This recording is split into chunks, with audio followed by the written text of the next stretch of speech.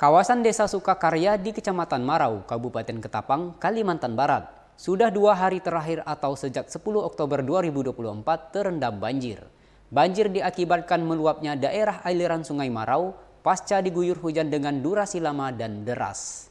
Seje belimbo mobil bahan. Nah, eh, nah.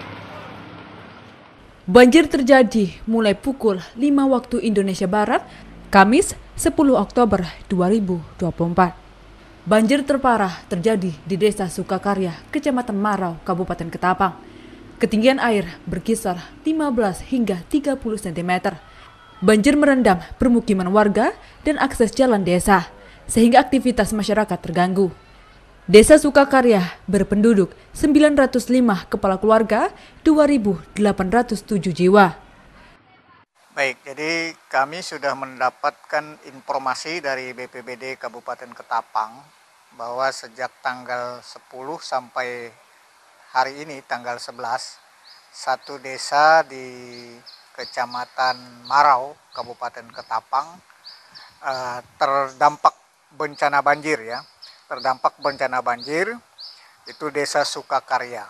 Nah, terkait jumlah warga dan fasilitas umum yang terdampak sedang dalam inventarisasi eh, rekan-rekan kami di BPBD Kabupaten Ketapang dan kita sudah melakukan koordinasi dengan BPBD setempat untuk melakukan upaya-upaya penanggulangan.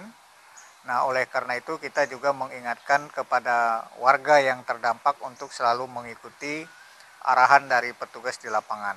Salah satu contoh, kalau memang dalam penilaian petugas di lapangan air semakin besar, rumah-rumah yang terdampak tidak layak dan tidak aman untuk ditempati atau ditinggali, maka jika petugas mengarahkan, menyarankan untuk melakukan pengungsian di tempat yang telah ditentukan, sebaiknya masyarakat mengikuti.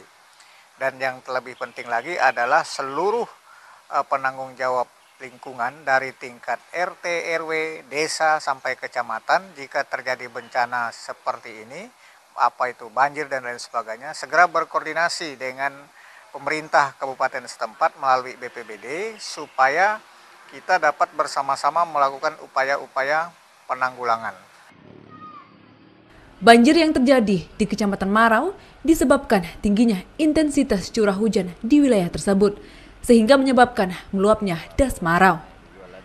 Meskipun hingga Jumat 11 Oktober 2024, banjir belum juga surut, namun belum ada warga yang mengungsi atau dievakuasi. Tim Liputan, Ruwai TV, mewartakan.